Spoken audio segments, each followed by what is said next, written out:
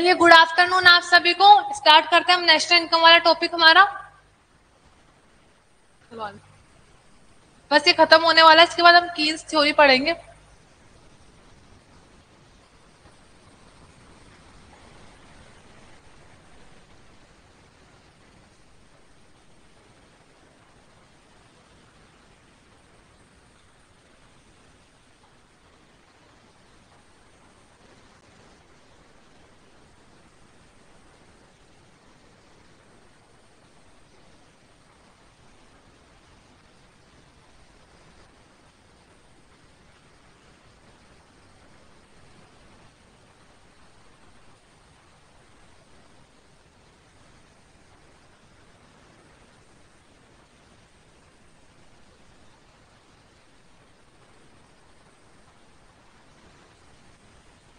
यहां से पढ़ना था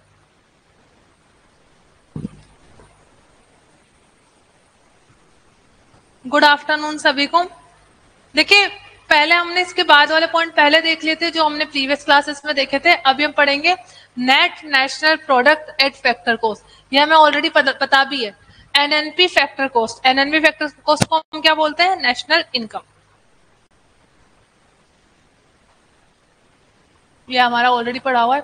बस आपको यहाँ पे बात यह समझनी कि फैक्टर कॉस्ट को ही नेशनल इनकम क्यों बोला जाता है मार्केट प्राइस भी तो होती है एनएनपी मार्केट प्राइस इसको क्यों नहीं हमने नेशनल इनकम बोला देखिए इस बात के पीछे लॉजिक ये है कि मार्केट प्राइस के अंदर आपका इंडायरेक्ट टैक्स इंक्लूड होता है इनडायरेक्ट टैक्स से आपकी कंट्री में या हमारी कंट्री में प्रोडक्शन इंक्रीज नहीं हुआ है सिर्फ कॉस्ट इंक्रीज हुई है और जो सब्सिडी दी थी गवर्नमेंट ने मार्केट प्राइस में से क्या हो चुकी है लेस हो चुकी है जबकि एक्चुअल में खर्चा हुआ था प्रोडक्शन करने के लिए इसलिए नेशनल इनकम जो हम काउंट करते हैं एनएनपी फैक्टर कोस्ट को ही करते हैं मार्केट प्राइस को नहीं करते तो ये तो हमारा पहले ही समझाओ टॉपिक है इसको अभी हम नहीं कर रहे per capita income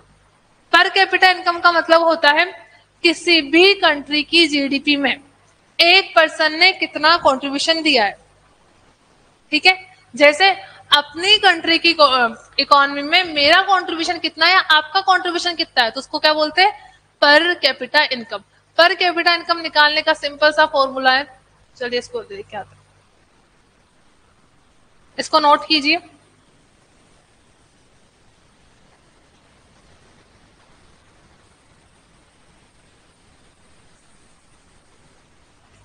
per capita income per capita income का मतलब है एक पर्सन का इसकी इकोनॉमी में कितना कंट्रीब्यूशन है तो देखिए contribution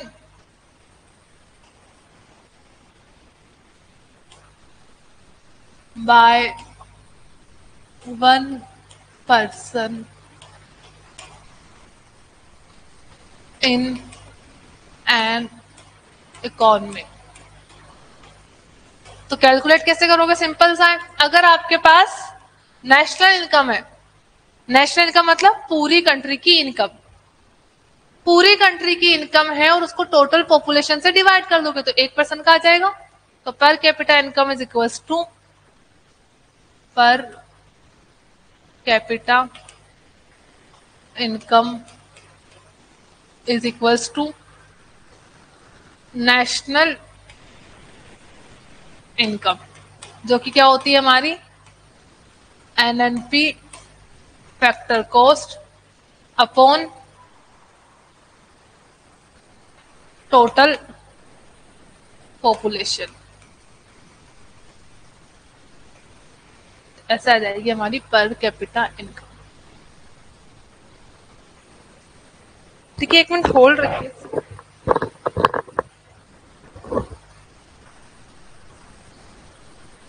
जो समझ लीजिए हमारी कंट्री की एनएनपी फैक्टर कोस्ट है एग्जाम्पल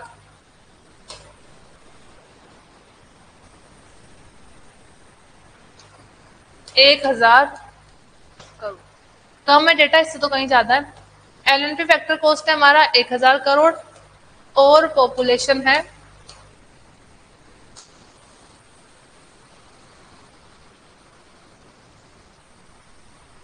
सौ करोड़ मान लो सौ से तो ज्यादा है अभी करंट में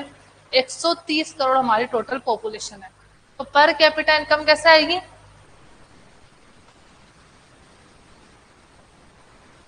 per capita income one thousand crore divide by hundred crore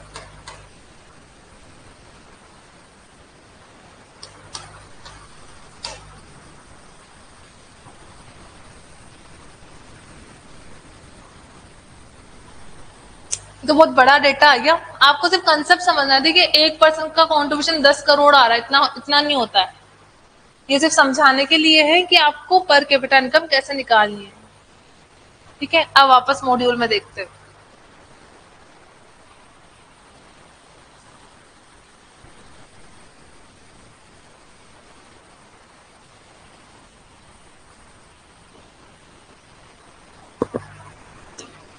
इसके बाद दे रखा है पर्सनल इनकम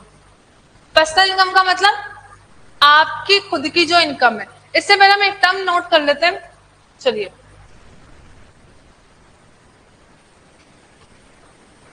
एक टर्म नोट कीजिए ट्रांसफर पेमेंट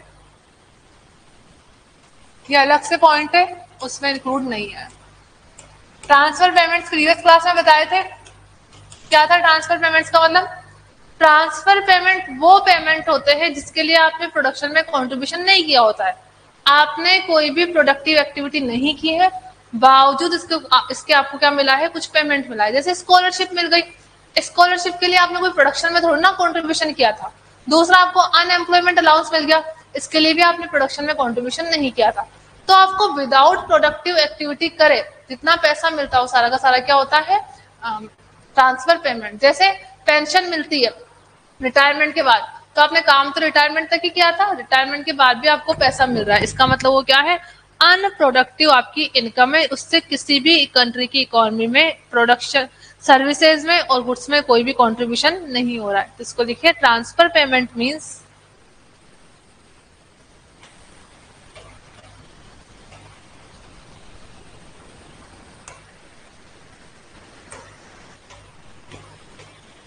पेमेंट्स क्यों लिखा हुआ है क्योंकि गवर्नमेंट दे रही है गवर्नमेंट के लिए तो पेमेंट है हमारे लिए है वो खर्च हमारे लिए तो है इनकम और गवर्नमेंट के लिए खर्चा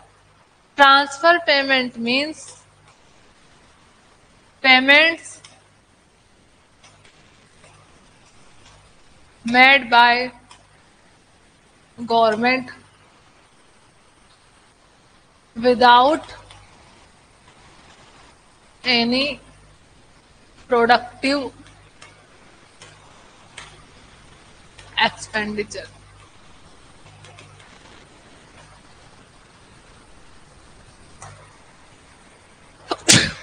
Sorry.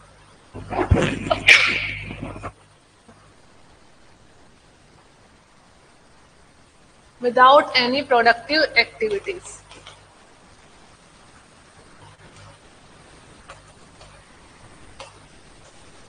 Example unemployment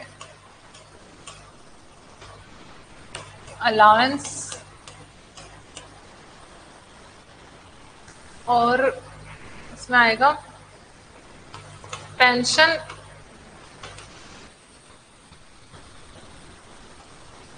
unemployment allowance pension and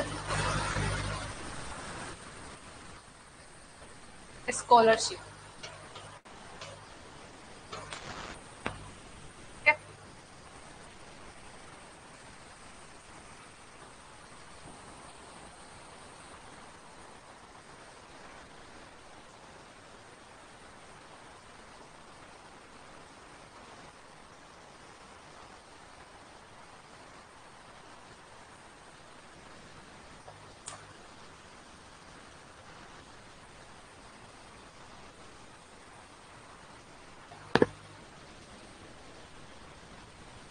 इसको लिखे फिर मॉड्यूल से पढ़ेंगे तो पर्सनल इनकम में ट्रांसफर पेमेंट आ जाएंगे क्योंकि नेशनल इनकम में हम सब उन्हीं इनकम को ऐड करते हैं जो क्या होती है प्रोडक्टिव एक्सपेंडिचर होगी या प्रोडक्टिव इनकम होगी ट्रांसफर पेमेंट से कोई भी प्रोडक्शन नहीं हुआ है तो नेशनल इनकम में अगर हम ट्रांसफर पेमेंट का एडजस्टमेंट कर देंगे तो क्या आ जाएगी हमारी पर्सनल इनकम आ जाएगी ठीक है हो गया है नोट लास्ट वर्ड है स्कॉलरशिप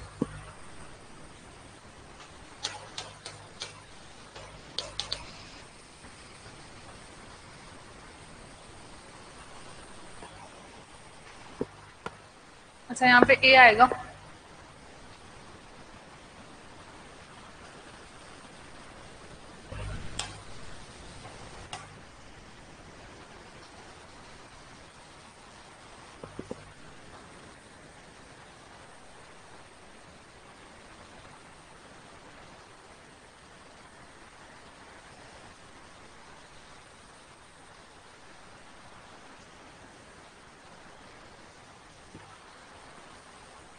चलो अब देखते हैं मॉड्यूल में personal income while national income is income earn by factor of production तो यहाँ पे तो जो भी इनकम आती है नेशनल इनकम में वो फैक्टर ऑफ प्रोडक्शन की आती है personal income is the income receive by the house holder sector including non profit institution serving household तो इसमें नॉन प्रॉफिट इंस्टीट्यूशन जो एनपीओ होते हैं जिनको हम एनजीओ बोलते हैं अगर वो भी कोई सर्विसेज देते हैं तो उनकी इनकम भी इसके अंदर इंक्लूड होगी Thus, national income is a measure of national income and, and personal income is a measure of actual current income received of personal from all sources which may or may not be earned from productive activities during a given period of time. तो बोला गया बोला गया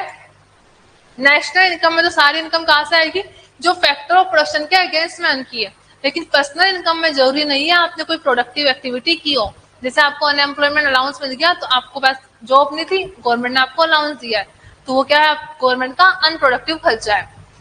from all sources which may और may not be earn एक तो होती है अर्न इनकम जैसे आप पर्सन है एक तो आपकी होगी अर्न इनकम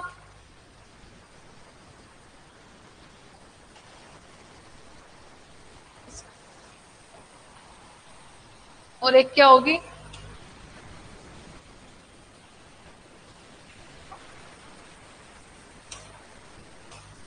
इसको ऐसे देखो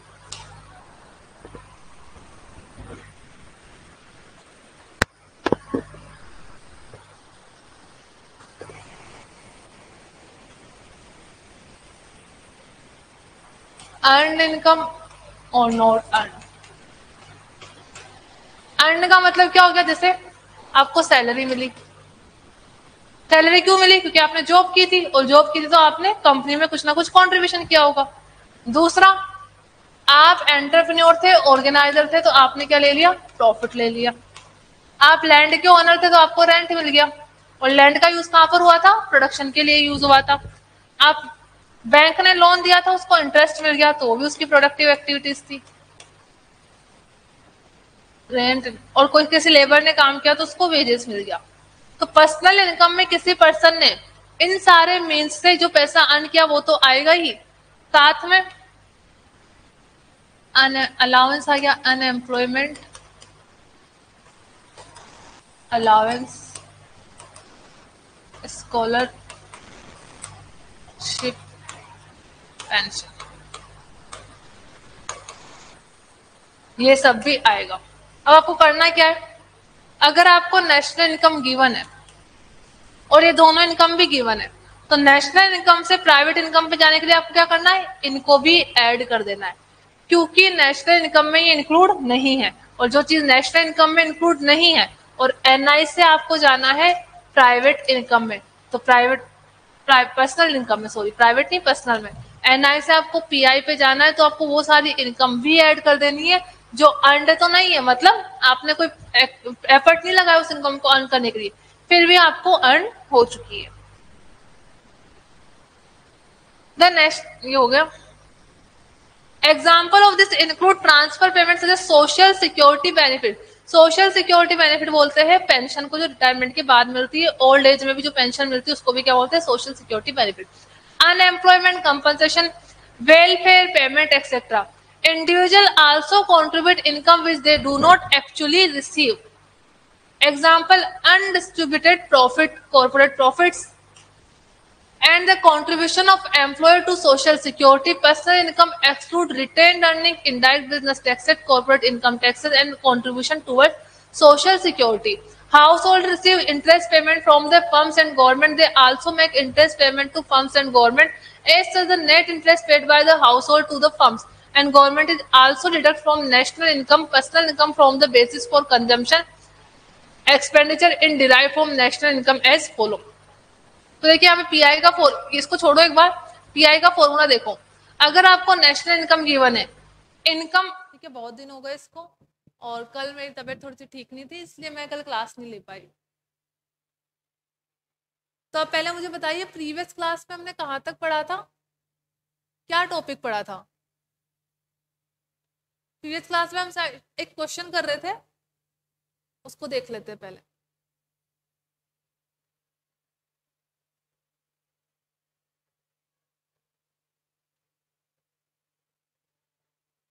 आपने किया इस क्वेश्चन को ये वाला नहीं ये नहीं था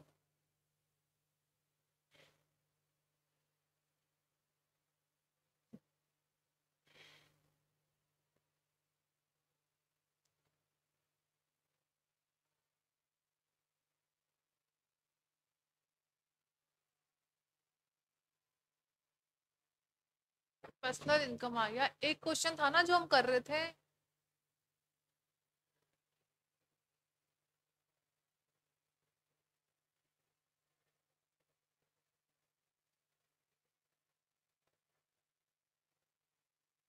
टेन नहीं टेन हो गया था हमारा इलेवन भी हो गया था और twelve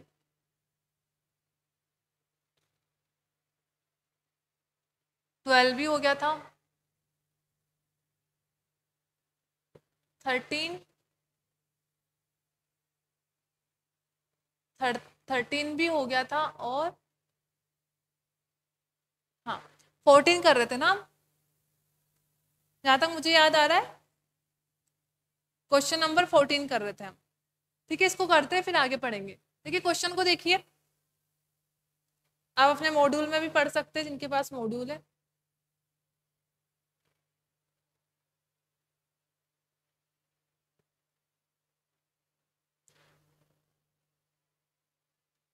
from the following data calculate calculate करना है क्या F C and GDP MP दो चीजें कैलकुलेट करनी है हमें जीडीपी एफसी में मॉड्यूल के अंदर ही करवा रही हूँ इसी में देख लेना जीडीपी एमपी मतलब gross domestic product at factor cost gross domestic product at market price अब मैंने आपको उस दिन एक तरीका बताया था जैसे मैंने उस दिन कैसे सोल्व किया था इसको जीएनपीएफसी दे रखा है जीएनपीएफसी और पूछा क्या है जीडीपी एफसी तो जीएनपी में और जीडीपी में डिफरेंस किसका होता है नेशनल डोमेस्टिक का मतलब नेट फैक्टर इनकम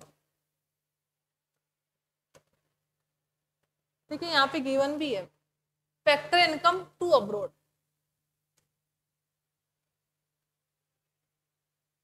अच्छा मुझे अब समझ में आ गया अपन ने क्यों नहीं किया था देखिए हम डायरेक्ट इसका एडजस्टमेंट करके कैलकुलेशन नहीं निकाल सकते क्योंकि जीएनपी जीएनपी में अगर डोमेस्टिक में हमने नेट फैक्टर इनकम अब्रोड को ऐड किया होगा तो तो क्या आ जाएगा हमारे पास जीएनपी आ जाएगा लेकिन यहाँ पे जो फैक्टर इनकम टू अब्रोड दे रखा है फैक्टर इनकम टू अब्रोड होता फैक्टर इनकम फ्रॉम अब्रोड होता दोनों का डिफरेंस ले लेते दोनों के डिफरेंस जो कि हमें जीएनपी फैक्टर कॉस्ट में इंक्लूड है अगर उसको हम लेस कर दे तो डायरेक्ट क्या आ जाता है जीडीपी आ जाता है इसलिए उस दिन हमारा आंसर नहीं आ रहा था इसलिए फैक्टर इनकम टू अब्रोड तो अभी इसको हटाइए अब हमें क्या निकालनी है जीडीपी एफसी निकालनी है अब देखिए इसमें डेटा कौन कौन सा दे रखा है compensation of employee rent interest profit ये सारी चीजें कहाँ पर आती है बताइए compensation to employee rent interest profit कौन सा मेथड में आती है ये इनकम मेथड में आती है हमने तीन मेथड पढ़े थे वापस रिमाइंड करवा देती हूँ नेशनल इनकम कैलकुलेट करने के तीन मेथड होते हैं एक तो था हमारा वैल्यू एडिशन मेथड जिसमें हर लेवल पे हर फर्म ने जितना वैल्यू एडिशन किया है उसको हम ऐड कर देंगे तो हमारी टोटल नेशनल इनकम आ जाएगी इसमें इसमें आप यहाँ पे क्या आती थी by default value GDP MP आती थी उसके बाद हमने देखा था एक एक्सपेंडिचर मेथड एक्सपेंडिचर मेथड का मतलब होता है हर सेक्टर ने अपने अपने लेवल पे जितना एक्सपेंडिचर किया इसका फॉर्मूला होता है C plus I plus G plus X minus M C का मतलब होता है कंज्यूमर ने फाइनल गुड्स पे जितना एक्सपेंडिचर किया है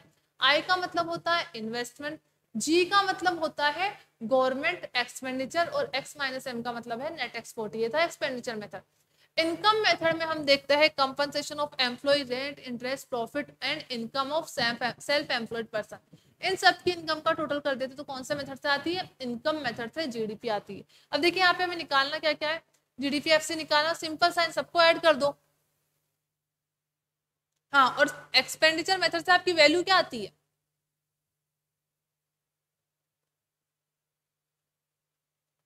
एक हमने पढ़ा था वैल्यू एडिशन मेथड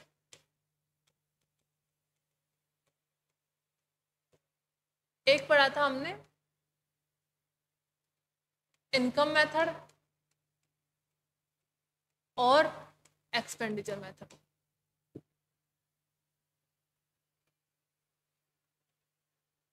ठीक है वैल्यू एडिशन में जो वैल्यू आती है निकालने पे आती है जीडीपी एमपी एक्सपेंडिचर में भी क्या आती है जीडीपी एमपी बस इनकम मेथड में कौन सी वैल्यू आती है एनडीपी एफसी याद है ना आप सभी को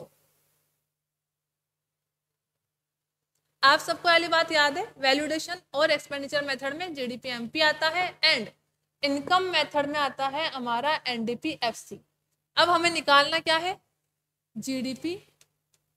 एफसी जीडीपी निकालना है तो एनडीपी एफसी दे रखा है मतलब एनडीपीएफसी हम निकाल लेंगे कौन सा मेथड थे इनकम मेथड थे जब इनकम मेथड से एनडीपीएफसी निकाल लेंगे तो ये नेट है हमको इसको ग्रोथ में कन्वर्ट करना है तो हम इसमें डेफ्रिशिएशन भी क्या कर देंगे ऐड कर देंगे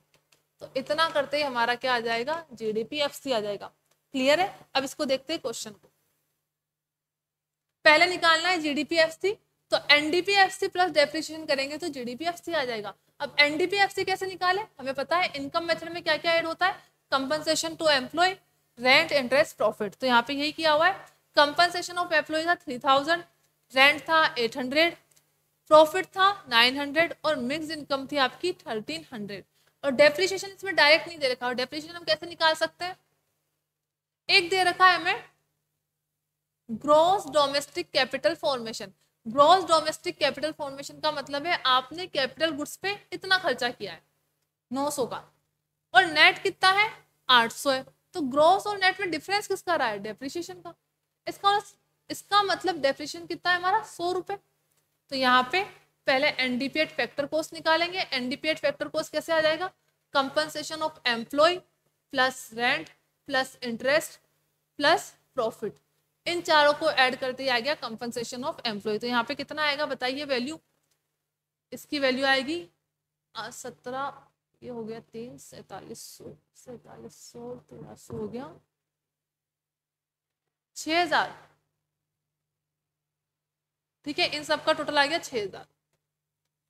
तो ये तो आ गई हमारी total N D P F C हमें निकालना क्या है G D P F C तो G D P F C के लिए हमें डेप्रेशन को ऐड करना पड़ेगा तो आठ सौ ग्रॉस है और नेट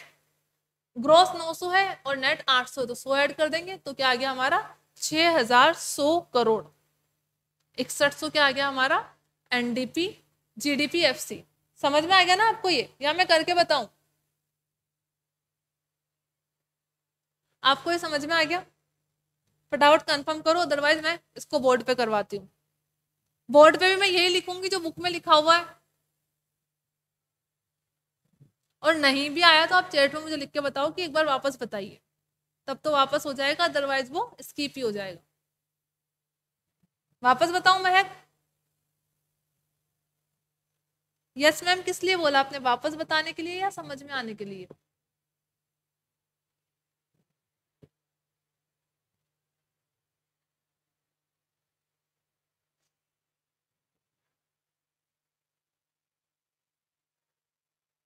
इसका मतलब सभी को समझ में आ गया चलो बढ़िया आ गया तो तो एनडी सी मतलब पहले एनडीपीएफसी निकाला डेफिनेशन ऐड कर देंगे सी मतलब इनकम मेथड से निकालना है तो compensation of employ rent interest profit को ऐड कर देना है ये तो एनडीपीएफसी आ गया उसके अंदर डेप्रिशिएशन ऐड कर देंगे तो जीडीपीएफसी आ जाएगा डेप्रिसिएशन डायरेक्ट नहीं गिवन है तो कैसे निकाला इन दोनों का डिफरेंस करके निकाल लिया अब दूसरी वैल्यू क्या निकालने के लिए बोला है हमें जीडीपी एमपी तो सिक्स वन डबल जीरो तो क्या आया हमारा जीडीपीएफसी आया हमें इसको कन्वर्ट करना है जीडीपी एमपी में तो किसका एडजस्टमेंट करना पड़ेगा नेट इनडायरेक्ट टैक्स का क्योंकि जीडीपीएफसी में नेट इनडायरेक्ट टैक्स ऐड नहीं होता है मार्केट प्राइस में नेट इनडायरेक्ट टैक्स ऐड होता है नेट इनडायरेक्ट टैक्स कैसे निकालता है इनडायरेक्ट टैक्स में से सब्सिडी को लेस कर दो तो नेट इनडायरेक्ट टैक्स आ जाता है अब देखते हैं यहाँ पे आईडीटी कहाँ दे रखा है ठीक है यहाँ पे डायरेक्ट नेट इनडायरेक्ट टैक्स ही दे रखा है तो सिक्सटी वन डबल जीरो में प्लस अगर हम कितने कर देंगे थ्री हंड्रेड तो ये क्या आ जाएगा G D P M P six four double zero ठीक है आ गया सभी को समझ में six four double zero crore की आ गई हमारी G D P M P next करें अब फिफ्टीन इसमें सिर्फ एक दो कॉन्सेप्ट ही बचे प्राइवेट इनकम वाला बचा है पर्सनल इनकम वाला बचा है personal income next previous class में करवाया था क्या नेशनल इनकम से पर्सनल इनकम पे कन्वर्ट करना है ठीक है शायद थोड़ा बहुत बताया होगा बस वही कंसेप्ट बचा है उसके बाद थ्योरी के एक दो टॉपिक बचे उसके बाद चैप्टर कंप्लीट है फिफ्टीन करें अब हम चलो फिफ्टीन देखते हैं calculate N N P F C N N P F C क्या होती है हमारी नेशनल इनकम नेशनल इनकम का दूसरा नाम क्या है N N P factor cost net national product at factor cost expenditure method से बोला है एक्सपेंडिचर मेथड में क्या करते हैं C plus I plus G plus net export अब देखिए प्राइवेट फाइनल कंजम्पशन एक्सपेंडिचर ये क्या दे रखा है प्राइवेट दे रखा है मतलब कंज्यूमर का सी की वैल्यू दे रखी है टेन करोड़ नेट इम्पोर्ट मतलब एक्स माइनस एम दे रखा है अब आपको यहाँ पे बात क्या ध्यान रखनी है यहाँ पे जो एक्स माइनस एम आता है वो क्या आता है नेट एक्सपोर्ट आता है नेट नेट एक्सपोर्ट को हम क्या करते हैं ऐड करते हैं तो नेट इम्पोर्ट को क्या करना पड़ेगा लेस करना पड़ेगा इसका मतलब यहाँ पे वैल्यू किसमें आएगी माइनस ट्वेंटी आएगी तो x माइनस एम की वैल्यू दे रखी है minus twenty public final consumption expenditure public दे रखा है मतलब गवर्नमेंट की बात हो रही तो ये जी की वैल्यू है gross domestic fixed capital formation ये दे रखा है हमें आई अब देखिए आई की वैल्यू है ना डायरेक्ट नहीं गिवन होती है कभी कभी या तो इन्वेस्टमेंट डायरेक्ट गिवन होता है डायरेक्ट नहीं गिवन है तो हमें निकालना पड़ता है जैसे यहाँ पे हम कैसे करेंगे एक आई तो ये गिवन है gross domestic fixed capital formation इसके बाद चेंज इन स्टॉक भी दे रखा है तो चेंज इन स्टॉक देखिए कंजम्पशन में तो चेंज इन स्टॉक होगा नहीं ना ही इसमें नेट इंपोर्ट में चेंज इन स्टॉक होगा स्टॉक का चेंज किस में हो सकता है इन्वेस्टमेंट के अंदर हो सकता है क्योंकि हो सकता है आपके जब ईयर स्टार्ट हुआ था तब आपके कैपिटल गुड्स की वैल्यू कुछ और थी और एंड में कुछ और हो गई तो बीच में जो भी आपके कैपिटल एक्सपेंडिचर या कैपिटल गुड्स में इंक्रीमेंट हुआ है उसकी वैल्यू को कहाँ से कैसे शो किया गया है change in stock change in stock thirty दे रखा है मतलब प्लस में दे रखा है मतलब इस साल आपका इन्वेस्टमेंट और कैपिटल गुड्स में एक्सपेंडिचर इतने से और इंक्रीज हुआ है तो ये तीन सौ पचास है ना यहाँ पे इसमें हम चेंज इन स्टॉक को क्या करेंगे ऐड करेंगे इसके बाद नेट एक्विजिशन ऑफ वैल्यूएबल्स मतलब आपने वैल्यूएबल्स चीजों में भी कुछ खर्चा किया जिससे आपने उसको एक्वायर किया है तो ये भी कंजम्पशन का खर्चा नहीं है ये किसका खर्चा है इन्वेस्टमेंट का खर्चा है तो इसको भी हम क्या करेंगे ऐड करेंगे तो टोटल इन्वेस्टमेंट की वैल्यू कितनी हो गई हमारी थ्री नाइन्टी यार समझ में आया आपको gross capital formation gross capital formation investment को ही बोला जाता है इन्वेस्टमेंट की वैल्यू में अगर आपको क्वेश्चन में एक्सपेंडिचर मेथड गिवन है और वहाँ पे चेंज इन स्टॉक गिवन है और नेट वैल्यूएबल एक्विजिशन गिवन है इसका मतलब ये इन्वेस्टमेंट की ही बात हो रही है क्योंकि एक्सपेंडिचर में तो नेट वैल्यूएबल एक्विजिशन आएगा नहीं चेंज इन स्टॉक आएगा नहीं और इम्पोर्ट एक्सपोर्ट में भी चेंज इन स्टॉक आएगा नहीं तो इसका एडजस्टमेंट हमें किस में करना पड़ेगा इन्वेस्टमेंट के अंदर करना पड़ेगा तो टोटल इन्वेस्टमेंट की वैल्यू कितनी आ गई हमारी थ्री नाइनटी अब इस फॉर्मूले में पुट कर देते हैं सी कितना है टेन आई कितना आया, हमारा थ्री नाइनटी जी कितना आया जी मतलब पब्लिक या गवर्नमेंट गवर्नमेंट और पब्लिक मतलब सेम चीज है तो जी है हमारा five X X minus M देखिए यहाँ पे नेट इंपोर्ट दे रखा है एक्स माइनस एम का मतलब क्या होता है नेट एक्सपोर्ट होता है तो वैसे तो हम नेट एक्सपोर्ट को ऐड करते हैं लेकिन नेट इंपोर्ट दे रखा है तो उसको क्या करेंगे माइनस ट्वेंटी तो कितनी वैल्यू आई यहाँ पे बताइए ये दोनों हो गए four hundred four hundred four zero five में से ट्वेंटी को लेस करना है that means three eighty five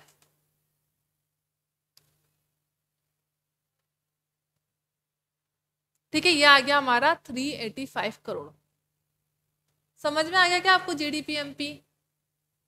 confirm करिए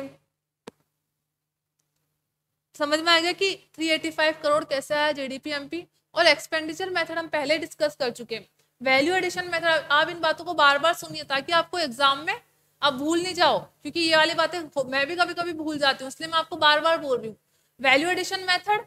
और एक्सपेंडिचर मेथड में बाई डिफॉल्ट कौन सी वैल्यू आती है जीडीपी पी बस जो आपका इनकम मेथड होता है वहाँ पे कौन सी वैल्यू आती है बाई डिफॉल्ट जो हम कैलकुलेट करते हैं जो सारी इनकम को टोटल करके एनडीपी सी आती है जीडीपी एमपी एनडीपी एफसी तो यहाँ पे बाई डिफॉल्ट वैल्यू कैसी आई हमारी जीडीपी एमपी आई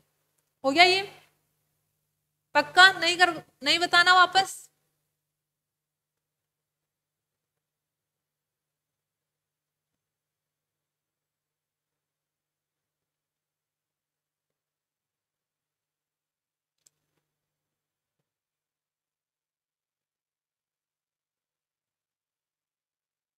ठीक है महक बाकी बच्चे बताइए वापस नहीं बताना ना ये समझ में आ गया ठीक है अब इसी वैल्यू से आपको क्या निकालना है एनएनपीएफसी निकालना है तो हमने वैल्यू किसकी निकाली जीडीपी एमपी जीडीपी एमपी से जाना है एनएनपीएफसी देखिए यहाँ पे हमें तीन एडजस्टमेंट करने पड़ेंगे कौन कौन से पहले तो जो एमपी आया है उसको एफसी में कन्वर्ट करना है एमपी में नेट इनडायरेक्ट टैक्स इंक्लूड होता है तो एफसी में क्या हो जाएगा डिडक्ट हो जाएगा यहाँ पे 385 आया था एफसी में डिडक्ट हो जाएगा तो डिडक्ट कितना करेंगे हम यहाँ पे गिवन है क्या यहाँ पे मुझे तो दिख नहीं रहा है नेट इनडायरेक्ट टैक्स नहीं है मतलब इसमें चलिए तो, तो कुछ दे ही नहीं रखा तो आपको इसका तो कोई एडजस्टमेंट करना ही नहीं है प्राइवेट पब्लिक डेप्रिशन सब्सिडी अच्छा सब्सिडी गिवन है सब्सिडी का एडजस्टमेंट होगा अब देखिए एमपी में क्या रहा होगा सब्सिडी डिडक्ट हो गई होगी एफसी पे जाना है तो सब्सिडी को ऐड कर देंगे इनडायरेक्ट टैक्स तो गिवन ही नहीं है और किसका एडजस्टमेंट होगा अब देखिए ग्रोस और नेट ये वैल्यू हमने किस पे निकाली है ग्रोस पे हमें पहुंचना है किस पे नेट पे तो डेप्रिशिएशन क्या होगा लेस होगा इसके बाद ये डोमेस्टिक इनकम थी हमको नेशनल पे जाना है तो डोमेस्टिक से इनकम पे जाएंगे तो इनकम पेड टू अब्रोड दे रखा है और कोई वैल्यू दे रखी है नहीं तो आप मुझे बताएंगे इनकम पेड टू अब्रोड का इसमें क्या एडजस्टमेंट होगा हिमांशी समझ नहीं आया आपको ये वापस बताऊं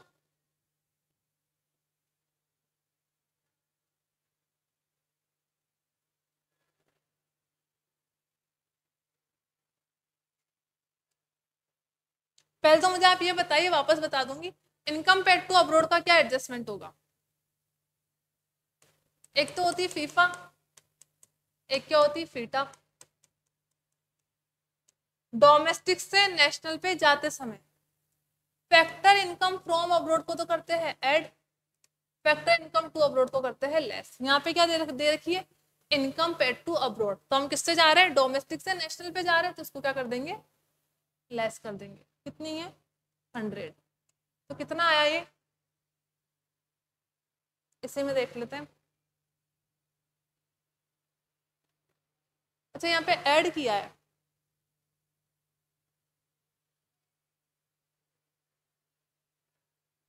इनकम पेड टू अब्रोड तो है ट्वेंटी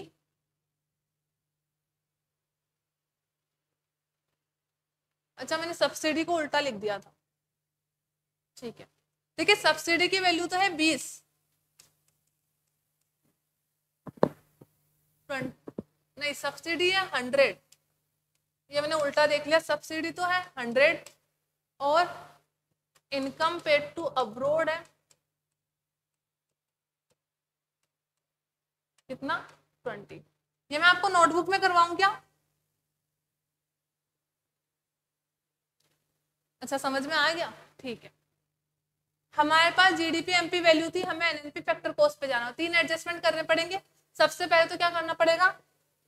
जो हमने एमपी निकाला है उसको फैक्टर कोस्ट में कन्वर्ट करना है तो एमपी को फैक्टर कोस्ट में कन्वर्ट करने के लिए नेट इनडायरेक्ट टैक्स का एडजस्टमेंट करना होता है नेट इनडायरेक्ट टैक्स कैसे आता है इंडायरेक्ट टैक्स माइनस सब्सिडी अब यहाँ पे इंडायरेक्ट टैक्स तो गिवन है नहीं क्या गिवन है सिर्फ सब्सिडी गिवन है तो मार्केट प्राइस में से सब्सिडी क्या हो चुकी होगी डिडक्ट तो फैक्टर कोस्ट में वापस क्या कर देंगे हम ऐड कर देंगे तो यहाँ पे देखिए ये ऐड कर दी समझ में आ रहा है हंड्रेड क्या होंगे प्लस होंगे उसके बाद हमने डोमेस्टिक इनकम निकाली थी हमें नेशनल इनकम पे जाना है तो डोमेस्टिक इनकम में फैक्टर इनकम टू अब्रोड क्या होगा ऐड होगा डोमेस्टिक में दो एडजस्टमेंट होते हैं पीफा एंड पीटा डोमेस्टिक में क्या होता है अगर हम नेशनल पे जा रहे हैं तो फैक्टर इनकम फ्रॉम अब्रोड को तो हम इसमें डोमेस्टिक में तो दोनों इंक्लूड होती है तो नेशनल पे जाते समय फैक्टर इनकम फ्रॉम अब्रोड को ऐड कर देंगे फैक्टर इनकम टू अब्रोड को क्या कर देंगे लेस कर देंगे तो यहाँ पे फीटा को हम लेस करेंगे तो मतलब इनकम पेड टू अब्रोड क्या हो जाएगा ट्वेंटी लेस हो जाएगा और डेप्रिशिएशन भी क्या हो जाएगा लेस हो जाएगा इसको मत देखो आप यहाँ पे डबल डबल बार लिख रखा है इसलिए कंफ्यूजन हो रहा है अब समझ में आ गया ना आपको और डेप्रिशिएशन हमने लेस कर दिया ग्रोस से नेट क्लियर है तीन चीजें एडजस्ट एडजस्ट की है कौन कौन सी मार्केट प्राइस से फैक्टर कॉस्ट से डोमेस्टिक से नेशनल पे और ग्रोथ से नेट पे तो ग्रोथ से नेट पे जाएंगे और डेप्रेशन लेस हो जाएगा डोमेस्टिक से नेशनल पे जाएंगे तो फैक्टर इनकम टू अब्रोड क्या हो जाएगा फैक्टर इनकम टू अब्रोड हमारी नेशनल इनकम में इंक्लूड नहीं होनी चाहिए थी हो चुकी है तो इसको क्या कर देंगे वापस लेस कर देंगे और सब्सिडी मार्केट प्राइस में ऐड हो चुकी थी तो वापस क्या कर देंगे लेस कर देंगे क्लियर है तो इसका आंसर क्या आ जाएगा फोर थर्टी फाइव करोड़ आ जाएगा अब नया टॉपिक पढ़े ये क्वेश्चन हो गए आपके सारे ठीक है तो अब नई हेडिंग लिखी है जो हम पढ़ेंगे नेशनल इनकम और प्राइवेट इनकम प्रीवियस क्लास में हमने नेशनल इनकम प्राइवेट इनकम लिखा था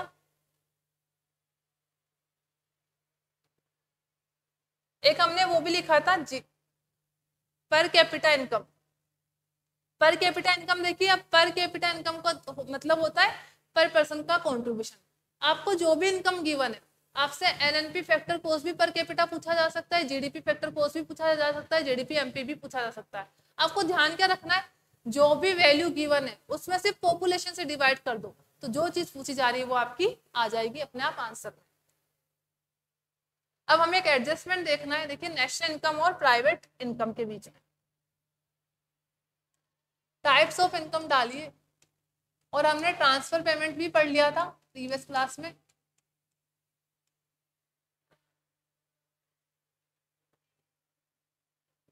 देखिए दो टाइप की इनकम होती है एक अर्न इनकम एक तो ऑफलाइन में ऑनलाइन में दिक्कत ही मुझे आप पता नहीं पड़ रहा कि आपको समझ में आया कि नहीं आया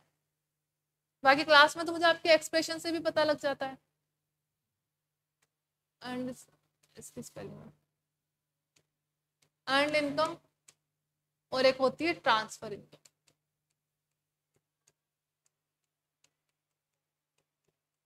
देखिए अर्न इनकम का मतलब होता है आपने कुछ काम किया है उसके बदले आपको मिला है आपने जॉब की है उसके बदले आपको सैलरी मिल रही है आपने लेबर का काम किया है तो आपको वेजेस मिली है तो इसका ये मतलब निकला कि आपने कुछ ना कुछ एक्टिविटी की है उसके बदले मिली है मतलब ये इनकम आप डिजर्व करते थे ट्रांसफर इनकम वाली इनकम आप डिजर्व नहीं करते थे वो आपको विदाउट प्रोडक्शन एक्टिविटीज के लिए मिली है तो उसको बोला गया है ट्रांसफर इनकम अब ये इनकम दो टाइप की हो सकती है अर्न इनकम में दो केस हो सकते हैं कौन कौन से एक तो होगी हमारी रिसीव्ड और एक होगी रिसीवेबल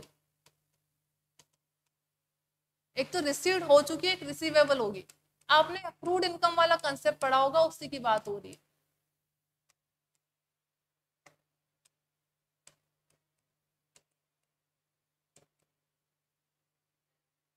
ट्रांसफर इनकम में भी क्या होगा दो टाइप की होगी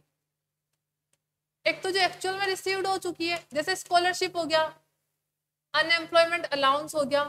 ये क्या होंगे ट्रांसफर इनकम एक रिसीवेबल होगी रिसीवेबल का सिंपल सा मतलब होता है अक्रूड मतलब जो आपने अर्न तो कर लिए लेकिन आपको रिसीव अभी तक नहीं हुई है और यहाँ पे हमें कैलकुलेट क्या करनी है इससे नेशनल इनकम ऐसे ही बनाना आपको कॉपी में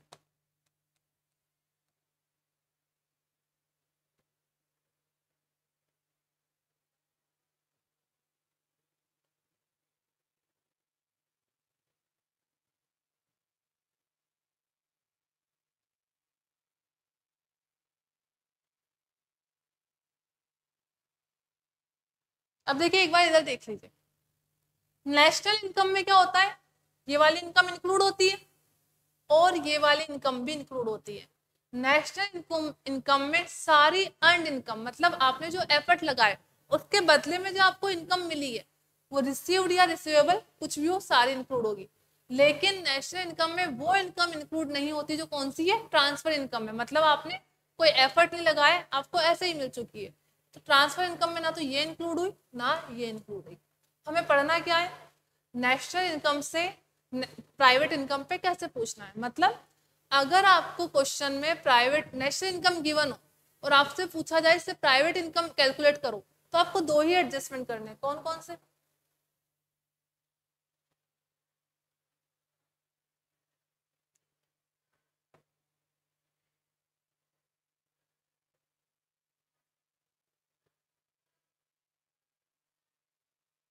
या इससे हमें पहुंचना है प्राइवेट इनकम पे इसको पीआई लिखते हैं प्राइवेट इनकम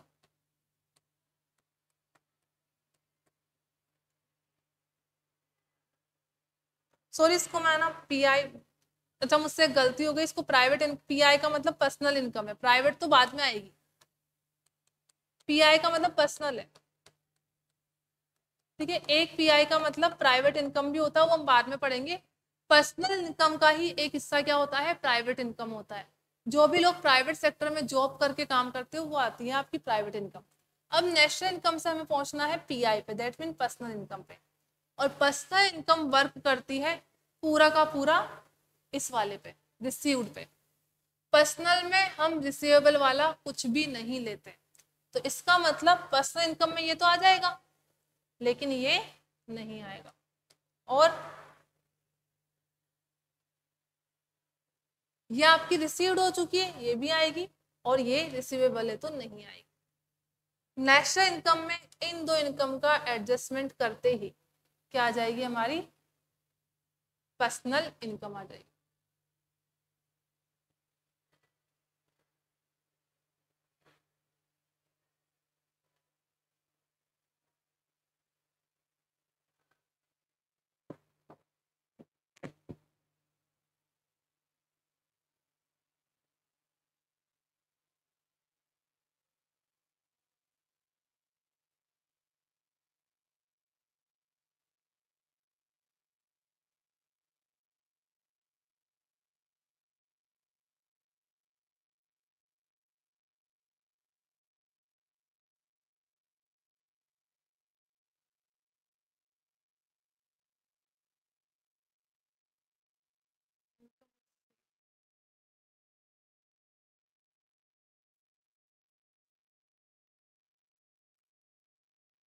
अब इसका फॉर्मूला कैसे बना देखिए P I is equals to N I ये दोनों तो कॉमन है ये यहाँ भी थी और यहाँ भी आएगी तो नेशनल इनकम में तो ये ऑलरेडी इंक्लूड है तो प्राइवेट इनकम में जाते समय इसको वापस कोई एडजस्टमेंट नहीं होगा लास्ट वाला भी देखिए नेशनल इनकम में इंक्लूड नहीं थी और इसमें भी नहीं होगी तो इसका भी कोई एडजस्टमेंट नहीं होगा इसका मतलब नेशनल इनकम में अगर हम इन दोनों का एडजस्टमेंट कर दें तो प्राइवेट इनकम पर्सनल इनकम मैं बार बार इसको प्राइवेट बोल रही हूँ लेकिन ये प्राइवेट नहीं है पर्सनल है तो नेशनल इनकम में अगर हम दोनों चीज़ों का एडजस्टमेंट कर देंगे तो क्या आ जाएगी पर्सनल इनकम आ जाएगी नेशनल इनकम में यह है इंक्लूड अगर इसको कर देंगे एक्सक्लूड और नेशनल इनकम में यह है एक्सक्लूड और इसको कर देंगे इंक्लूड तो कहाँ पहुंच जाएंगे हम पर्सनल इनकम पे तो देखिए इसको कैसा दिखता है ये वाली इंक्लूड है तो इसको एक्सक्लूड करना है net income minus income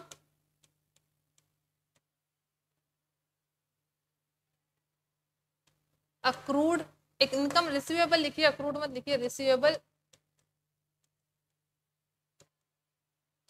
but not earned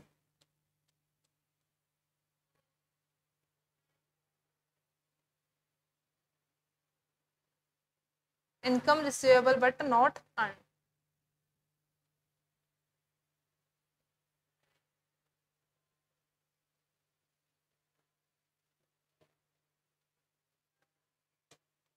income and but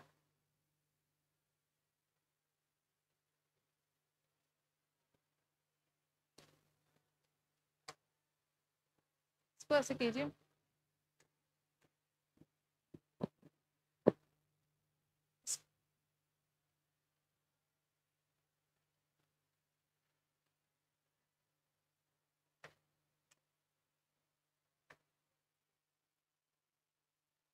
इसमें ऐसे लिखिए इनकम रिसीवेबल जो है अर्ड इनकम और ऐड कर देंगे ये वाली प्लस इनकम रिसीव्ड कौन से ट्रांसफरेबल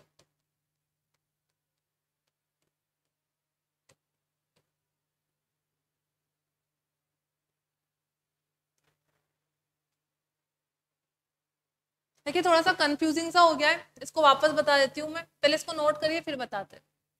चार एडजस्टमेंट करने होते हैं इसमें से दो तो ऑलरेडी हो चुके होते हैं हमें सिर्फ दो ही करने होते हैं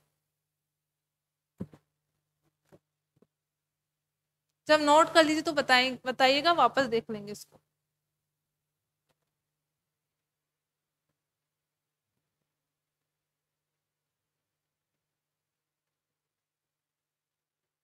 हाँ हिमांशी ने सही बताया पर्सनल इनकम का अब इस कॉन्सेप्ट को वापस समझिए हमने जब नेशनल इनकम कैलकुलेट की थी मैंने प्रीवियस क्लास में बताया था जैसे मुझे स्कॉलरशिप मिली है जब नेशनल इनकम कैलकुलेट किया था तो स्कॉलरशिप को मैंने ऐड नहीं किया था क्यों नहीं किया था नेशनल इनकम कैलकुलेट करने का पर्पज ये होता है कि प्रोडक्शन कितना इंक्रीज हुआ है स्कॉलरशिप मिलने से प्रोडक्शन पे कोई इम्पेक्ट नहीं आया है अगर मुझे अनएम्प्लॉयमेंट अलाउंस मिला है तो उसका नेशनल इनकम में कैसे मैं ऐड कर सकती हूँ क्योंकि उससे प्रोडक्शन बिल्कुल भी इंक्रीज नहीं हुआ है लेकिन पर्सनल इनकम तो है ना मेरी वो मैं अपनी पर्सनल इनकम कैलकुलेट करूंगी इसे इंडिविजुअल की इनकम जैसे तो उसमें मैं स्कॉलरशिप भी ऐड करूंगी और मुझे कोई अनएम्प्लॉयमेंट अलाउंस मिला तो वो भी ऐड करूंगी और मुझे जो पेंशन मिलती है वो भी ऐड करूंगी लेकिन इन तीनों ही इनकम से प्रोडक्शन में कोई भी इंक्रीमेंट नहीं होता है तो इन तीनों को नेशनल इनकम में तो इंक्लूड नहीं किया था लेकिन पर्सनल इनकम में क्या करेंगे इंक्लूड करेंगे तो यहाँ पे आपको वो वाला तो कंसेप्ट आपको इजीली समझ में आ जाएगा क्वेश्चन आएगा तब आप इसको ध्यान इसको देखिए एक बार इनकम होती है हमारी दो टाइप की एक तो अर्न इनकम होती है एक होती है ट्रांसफर इनकम अर्न इनकम का मतलब होता है आपने खुद के एफर्ट से अर्न किया ट्रांसफर इनकम का मतलब है आपने कोई प्रोडक्टिव एक्टिविटीज नहीं की है फिर भी आपको मिल गई है ये भी दो टाइप की होती है रिसीव्ड और रिसीवेबल रिसीवेबल का मतलब है अक्रूड जैसे आपने तीन चार महीने कहीं पे काम कर लिया ठीक है आपको सैलरी मिलनी चाहिए लेकिन आपके एम्प्लॉयर ने अभी तक आपको सैलरी का पेमेंट नहीं किया है तो आपकी अक्रूड इनकम है आप उस इनकम को लेने के लिए एलिजिबल पर्सन हो लेकिन सामने वाले ने पेमेंट नहीं किया है तो इसमें आपकी गलती नहीं है लेकिन वो नेशनल इनकम के अंदर क्या होगी काउंट हो जाएगी तो रिसीव्ड वाली तो जो एक्चुअल में रिसीव हो गई रिसीवेबल का मतलब जो आपको अक्रूड तो हो चुकी है लेकिन एक्चुअल में कैश में और हैंड में नहीं मिली है तो नेशनल इनकम कैलकुलेट करते टाइम इसको भी लेंगे और इसको भी लेंगे लेकिन नेशनल इनकम में हमने ट्रांसफर इनकम को इंक्लूड ही नहीं किया था भले वो रिसीव्ड हो या रिसीवेबल हो तो यहाँ पे दोनों तो हो गई थी एक्सक्लूड अब आपको क्वेश्चन में क्या होगा नेशनल इनकम गिवन होगी आपसे पूछा जाएगा पर्सनल इनकम ठीक है अब यहाँ पे देखिए नेशनल इनकम में जो अर्न इनकम थी रिसीव थी वो तो आती थी और पर्सनल इनकम में भी आपने जो अर्न किया वो तो आएगी तो इसका मतलब ये वाली इनकम तो इसमें ऑलरेडी इंक्लूड है तो नेशनल इनकम में आपको अर्न रिसीव्ड इनकम का कोई एडजस्टमेंट नहीं करना है दूसरी बात यहाँ पर ये इनकम भी आ गई थी नेशनल इनकम में लेकिन पर्सनल इनकम में हम एक्चुअल रिसीवेबल इनकम को ही लेते हैं इसलिए ये वाली इनकम को हम वापस क्या कर देंगे लेस कर देंगे तो मैंने देखिए यहाँ पे लिख दिया इनकम रिसीवेबल जो इनकम नेशनल इनकम में इंक्लूड थी लेकिन पर्सनल इनकम में नहीं आनी चाहिए क्योंकि वो आपको एक्चुअल में मिली नहीं है अभी तक आप खर्च किसको करोगे जो चीज़ आपको मिली नहीं है तो इसलिए जो इनकम वहाँ पे ऐड थी तो इसको यहाँ पे लेस कर दिया national income minus income receivable दूसरा यहाँ पर आपका ट्रांसफर इनकम जैसे पेंशन हो गया स्कॉलरशिप हो गया अनएम्प्लॉयमेंट अलाउंस हो गया वो हमने नेशनल इनकम में नहीं लिया था लेकिन वो पार्ट किसका बनना चाहिए पर्सनल इनकम में तो आएगा आपकी पर्सनल इनकम में तो इसको वापस ऐड कर देंगे चलिए मैं इसका एक क्वेश्चन करवाती हूँ आपको फिर क्लियर हो जाएगा ये नोट हो गया एक क्वेश्चन कर लेते हैं इसका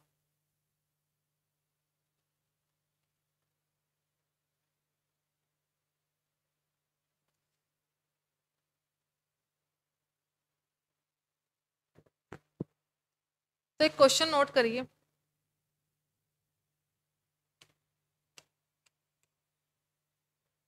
नेशनल इनकम है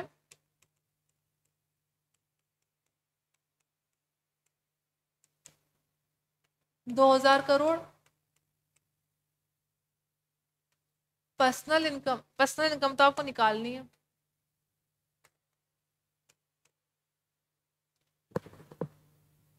and received income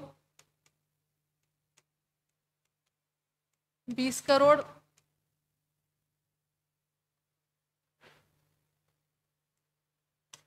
earned receivable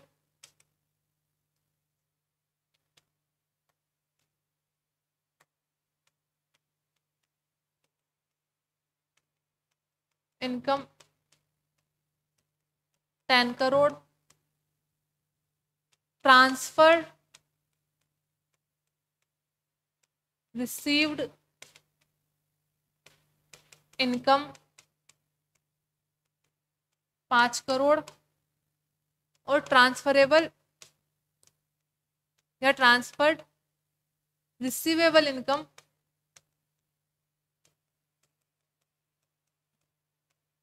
पंद्रह करोड़ आपको इससे कैलकुलेट करनी है पर्सनल इनकम तो आपको एन आई गिवन है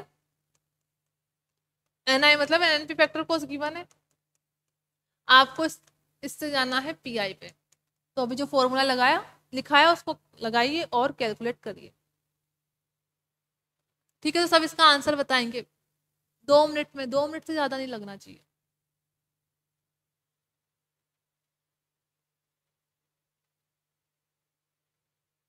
रीमा का आंसर आ गया है two zero two five crore और बताइए किसका क्या आया है एक आंसर आया है हमारे पास two zero two five crore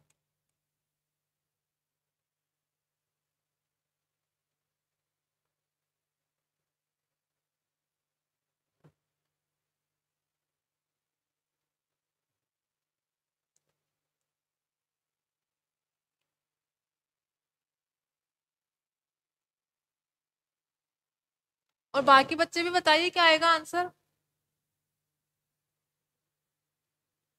कोई बात नहीं वापस करेक्ट करके बता दीजिए जितना आ रहा है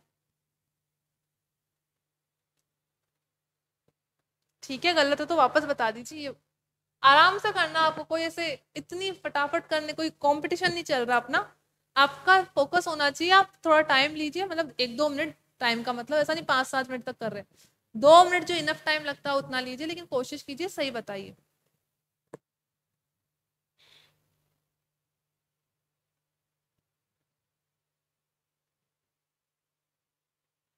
दयानंद ने बताया है वन नाइन नाइन फाइव कुनेज ने टू वन जी हाँ दयानंद मेरे को आपका नाम पता चल गया इसके अंदर सुशुभाष आता है तो आप बार बार बताया मत कीजिए आप जितने ही बच्चों ने बताया सबके अलग अलग आंसर आए जैसे एक का आया वन नाइन नाइन फाइव पुनेज का आया है टू जीरो वन जीरो एक आया वन नाइन सेवन फाइव और एक आया है टू थाउजेंड चलो करके देखते हैं मेरे को ही बताना कैसे होगा अब आप खुद देखना अभी सबका सही हो जाएगा हमें एनआई से जाना है पीआई पे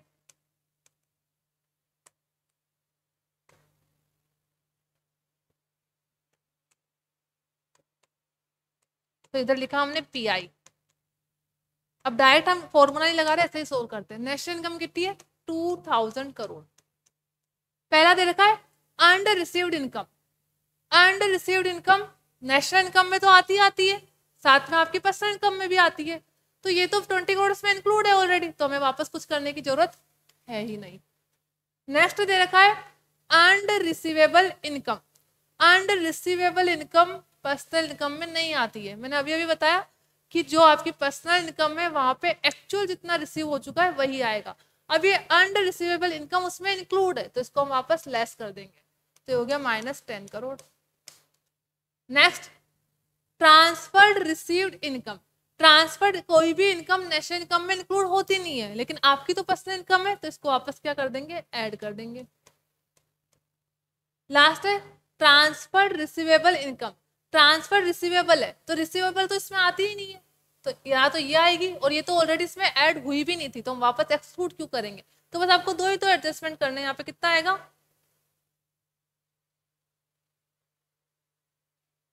ये वाला क्या आंसर किसी ने भी नहीं बताया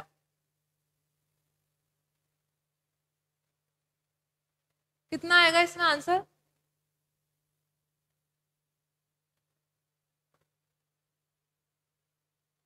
one nine nine five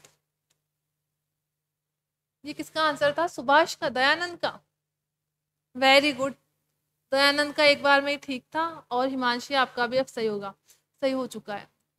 अब समझ में आ गया ना सभी को क्या करना है आपको रिसीवेबल पे तो रिसीवेबल पर्सनल में कभी इंक्लूड ही नहीं होगी ठीक है तो जो रिसीवेबल इंक्लूड थी एनआई में उसको हटा देंगे और ट्रांसफर रिसीवेबल तो इसमें इंक्लूड थी ही नहीं तो उसका कोई एडजस्टमेंट नहीं होगा उसके बाद हमारे यहाँ पे जो अनरिसीव्ड इनकम थी वो तो पर्सनल में आनी चाहिए तो नेशनल में भी थी पर्सनल में भी थी तो no adjustment under receivable income under receivable income उसमें नेशनल इनकम में इंक्लूड होती है पीआई में नहीं होती इसको लेस कर देंगे transfer received income national income में नहीं आती तो उसको वापस ऐड कर देंगे बस दो ही एडजस्टमेंट होंगे ठीक है अब हो जाएगा सभी का तो अब हम मॉड्यूल देख लेते हैं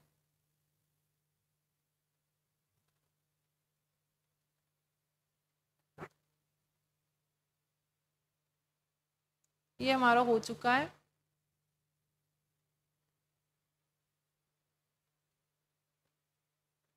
ठीक है तो यहाँ तो हमारे सब अब थ्योरी बची थ्योरी को बाद में पढ़ेंगे और ऊपर एक दो एक बस पर्सनल इनकम और प्राइवेट इनकम निकालने का फॉर्मूला है वो आप नोट कर लीजिए ठीक है तो पर्सनल इनकम और प्राइवेट इनकम का फॉर्मूला नोट कर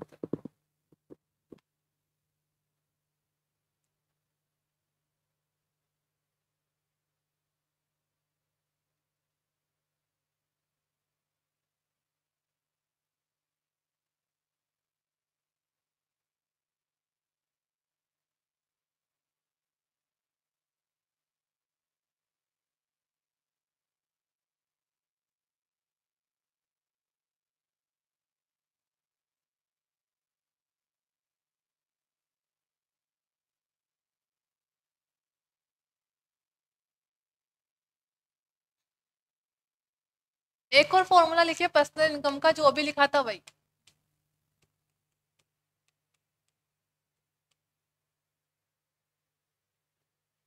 वहां पे तो सिर्फ हमें तीन चार अगर उन चारों में से कोई फैक्टर दे रखा हो तो उन चारों का एडजस्टमेंट होता है एक तरीका तो वो होता है इसके अलावा और भी चीजें होती है वो देखिए अगर आपको पर्सनल इनकम कैलकुलेट करनी है और आपको नेशनल इनकम गिवन है इसके दो फॉर्मूले थे एक तो हमने लिख लिया एक और लिखिए तो इसमें से लेस क्या होगा income from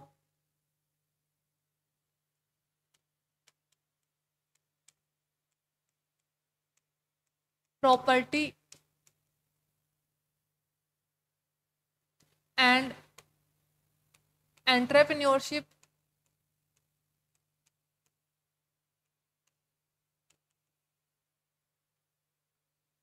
accruing to government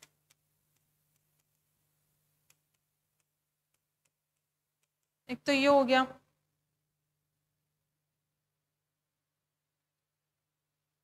less कर देंगे saving of non departmental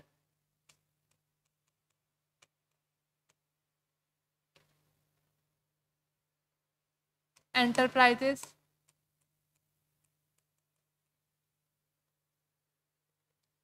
plus national debt interest plus current transfer from government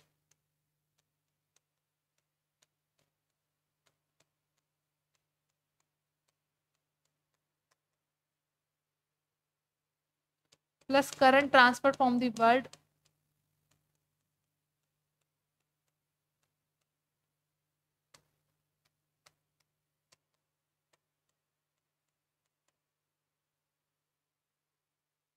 minus saving of private sector.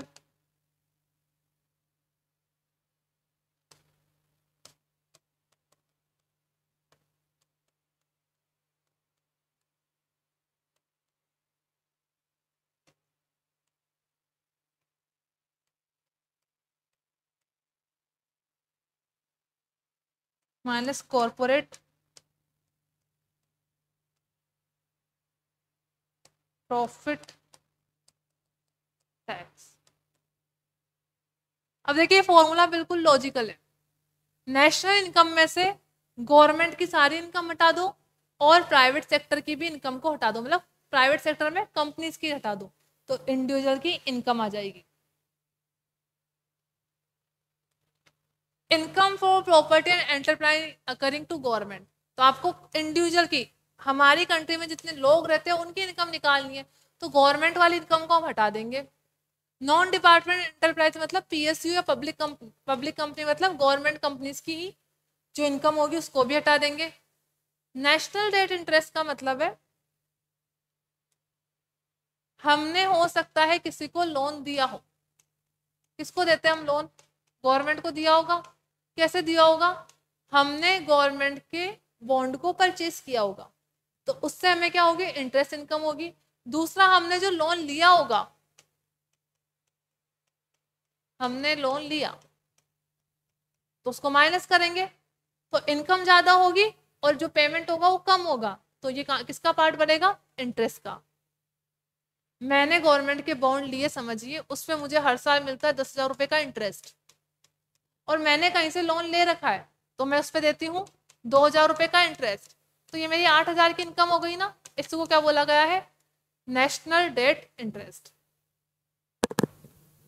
current transfer from government transfer price आ गई वापस क्योंकि national income में transfer price include नहीं थी scholarship unemployment allowances allowances and pension तो उसको add कर देंगे current transfer from the world दुनिया के किसी भी हिस्से से आपको स्कॉलरशिप मिल रही हो सकती है आप यहाँ पे पढ़ो लेकिन आपको यूएसए से स्कॉलरशिप मिली हो वहाँ की यूनिवर्सिटी में ऑक्सफोर्ड यूनिवर्सिटी में पढ़ने के लिए तो हो जाएगी यहाँ पे add saving of private corporate sector national income में प्राइवेट सेक्टर की इनकम भी इंक्लूड है उसको हटा देंगे और प्राइवेट सेक्टर का प्रॉफिट भी इंक्लूड है उसको क्या कर देंगे एक्सक्लूड कर देंगे तो कौन से सेक्टर की इनकम आ जाएगी मतलब सिर्फ पर्सनल जो भी हमारी कंट्री में लोग रहते हैं उनकी इनकम आ जाएगी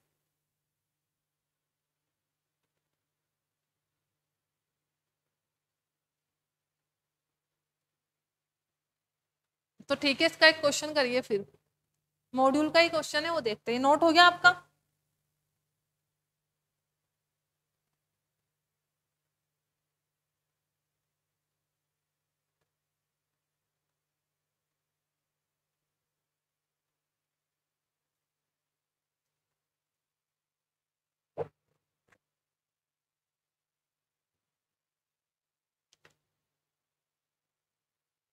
ये फॉर्मूला क्लियर है ना कैसे बना है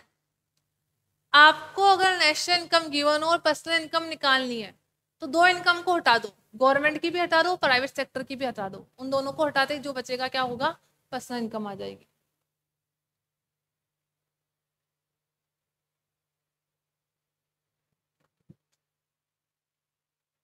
ठीक है मैं इसको दोबारा बता दूंगी लेकिन आप पहले इसका क्वेश्चन करिए उससे आपको समझ में आएगा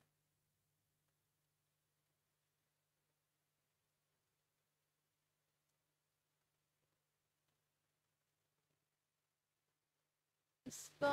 ऊपर था कुछ जैसे एक क्वेश्चन दे रखा है इससे ऊपर वाला ये वाला हम कर चुके ऑलरेडी ये तो इजी सा क्वेश्चन है ये वाला देखिए from the following data estimate national income and personal income पहले तो आपको निकालनी है नेशनल इनकम फिर निकालनी है पर्सनल इनकम अब यहाँ पे आपको गिवन कौन सी है एनडीपी एमपी गिवन है और नेशनल इनकम क्या होती है एनएनपी एफसी देखिए कितने एडजस्टमेंट करने पड़ेंगे पहले तो एमपी को फैक्टर कॉस्ट में कन्वर्ट करना है तो आप सब अब जवाब देंगे मुझे साथ में एमपी को फैक्टर कॉस्ट में कन्वर्ट करना है तो क्वेश्चन दिख रहा है आपको अच्छा ये आंसर भी दिख रहा है यहाँ पे इसको छुपा देते हैं NDP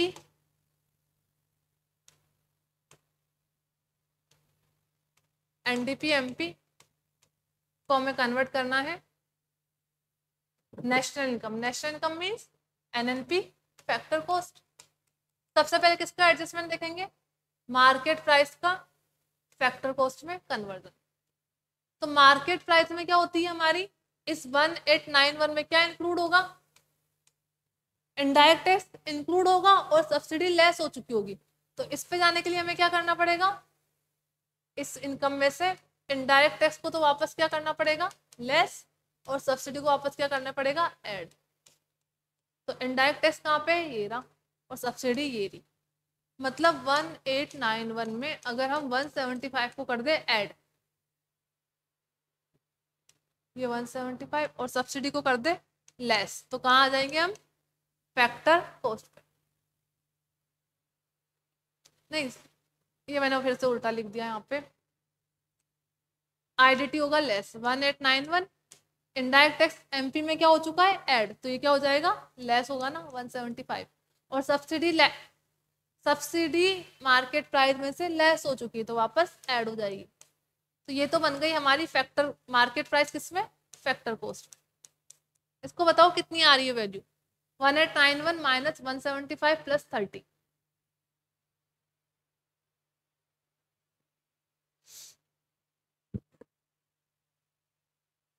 one seven one one ये क्या आ गई हमारी ये आई है हमारी एनडीपी एफ सी आई है अब एनडीपी एफ सी को हमें एनएनपी एफ सी में कन्वर्ट करना है तो सब कुछ तो एडजस्टमेंट हो गया लेकिन ये डोमेस्टिक पे आई है हमें नेशनल पे कन्वर्ट करना है तो डोमेस्टिक को अगर नेशनल में कन्वर्ट करना है तो क्या एडजस्टमेंट करना पड़ेगा फैक्टर इनकम टू अब्रोड या फैक्टर इनकम फ्रॉम अब्रोड तो यहाँ पे गिवन है कुछ ऐसा ये रहा तो ये current transfer from rest of the world है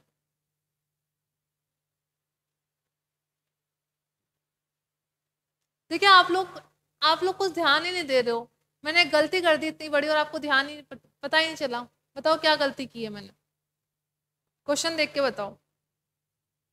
मैंने स्टार्टिंग ही गलत कर दी क्योंकि मैंने एक वर्ड गलत पढ़ लिया और आप लोगों ने मुझे बताया नहीं अब आप लोग मुझे बताएंगे कि मैंने गलती क्या करी है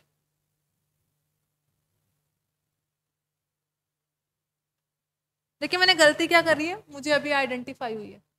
मैंने यहाँ पे क्या लिखा है एनडीपी एमपी की बने जबकि यहाँ क्या लिखा हुआ है नेट नेशनल प्रोडक्ट लिखा हुआ है मतलब ये एनएनपी एम पी की बन है समझ में आया मैंने इसको N D P M P लिखा है जबकि already N N P M P given है तो फैक्टर इनकम फ्रॉम अब्रोड या टू अब्रोड का तो कोई एडजस्टमेंट होगा ही नहीं N N P M P को ही हमें N N P F C में कन्वर्ट करना है तो सिर्फ दो ही एडजस्टमेंट होंगे कौन से ये वाले तो इसको सोल्व करते ही हमारी क्या आ जाएगी N N P F C तो कितनी है यहाँ पे वैल्यू इसमें ही देख लेते हैं one seven four six crore तो ये क्या आ गई हमारी N N P F C और N N P F C क्या होती है हमारी एन आई होती है अब हमें पर्सनल इनकम निकालनी है इसकी वैल्यू क्या आई one seven four six one seven four six आई N N P F C या एन आई इससे हमें पर्सनल इनकम पे जाना है तो इस नेशनल इनकम में से गवर्नमेंट की इनकम हटा दो और पब्लिक सेक्टर की इनकम हटा दो और प्राइवेट सेक्टर की इनकम हटा दो तो पूरी इनकम किसकी बनेगी इंडिविजुअल पर्सन की इनकम बचेगी जैसे income form property and entrepreneurship accruing to government administrative department ये गवर्नमेंट की इनकम है लेकिन हमें जाना किस पे पीआई पे तो इसको हम लेस कर देंगे इनडायरेक्ट टैक्सेस तो ऑलरेडी हो चुका है इसका एडजस्टमेंट हो गया इसका एडजस्टमेंट भी हो गया इसको हमने हटा दिया saving of non departmental enterprises saving of non departmental enterprise किसकी इनकम है पीएसयूज की तो ये गवर्नमेंट कंपनीज होती तो इसको भी हम क्या करेंगे रिमूव कर देंगे यहाँ से इंटरेस्ट ऑन नेशनल डेट तो आपको इंटरेस्ट मिला है नेशनल डेट पे तो आपकी इनकम है plus fifteen current transfer from government ये आपकी ट्रांसफर्ड इनकम है और ये रेस्ट ऑफ दी वर्ल्ड है ट्रांसफर्ड इनकम नेशनल इनकम में इंक्लूड हुई थी नहीं नेशनल इनकम इनकम में कोई भी ट्रांसफर इनकम नहीं आती है तो ये दोनों इनकम इंक्लूड नहीं है तो इन दोनों को भी यहाँ पे ऐड कर देंगे saving of private corporate sector ये प्राइवेट सेक्टर की इनकम है आपकी पर्सनल इनकम नहीं है तो इसको भी लेस कर देंगे और कॉरपोरेट प्रॉफिट टैक्स भी किसकी इनकम है कॉरपोरेट सेक्टर की है तो अगर हम national income one seven four six में इन सब का एडजस्टमेंट कर देंगे तो कौन सी इनकम आ जाएगी पर्सनल इनकम अब इसको एडलेस कर लीजिए कितना आ रहा बता दीजिए one seven double one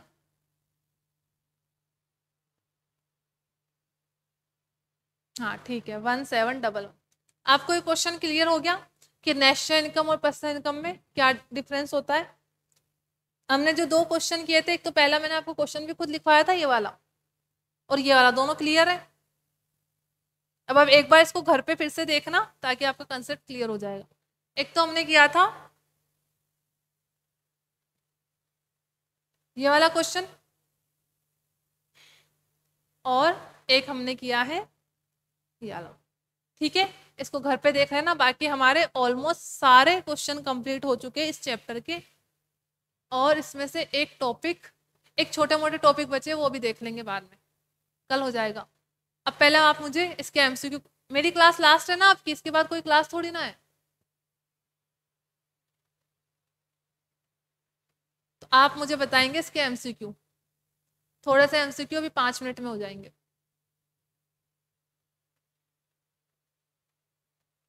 question number one देखिए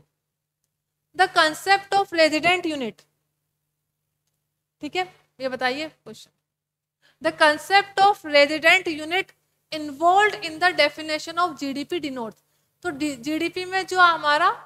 रेजिडेंट यूनिट आता है उसका मतलब क्या है अब business enterprises which belong to citizen of India which production unit slowly situated in India the unit having predominant economic interest in the economic territory of the country for one year or more irrespective of nationality or legal status a citizen household which had been living in India during the accounting year and one whose economic interests are solely in India. Household and business enterprises composed of citizen of India along living in India during the accounting year. बताइए इसमें क्या answer आएगा resident unit का मतलब पूछा गया है हिमांशी बोल रही कि बी होगा और भी बताइए आप लोग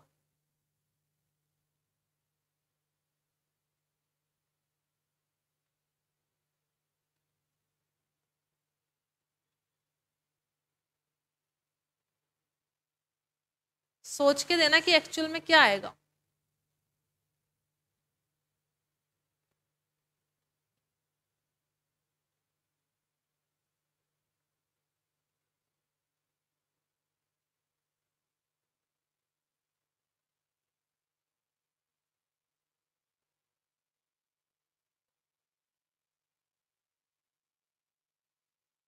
बाकी बच्चे बताइए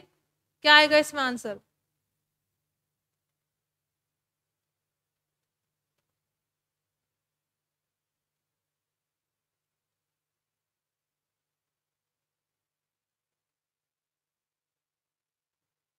कोई नहीं बता रहा हूँ ये क्वेश्चन वापस समझिए the concept of resident unit involve in definition of GDP GDP में मैंने क्या बोला था डोमेस्टिक डोमेस्टिक का मतलब क्या होता है टेरिटोरियल एरिया से होता है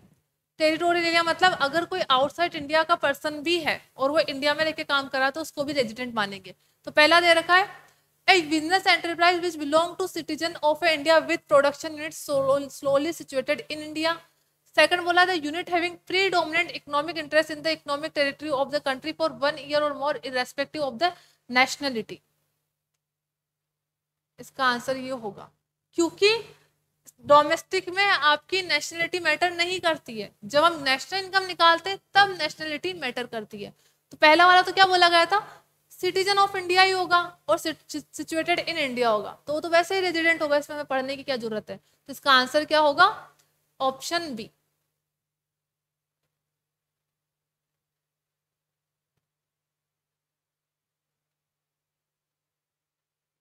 ठीक है क्लियर है सभी को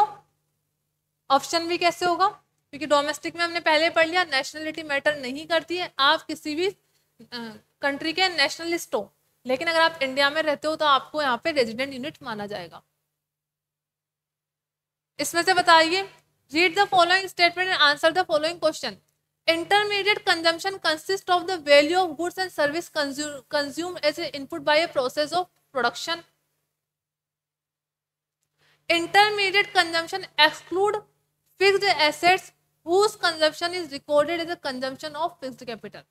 पहला बोला गया है इंटरमीडिएट कंजम्पशन में आपकी value of goods and service consumed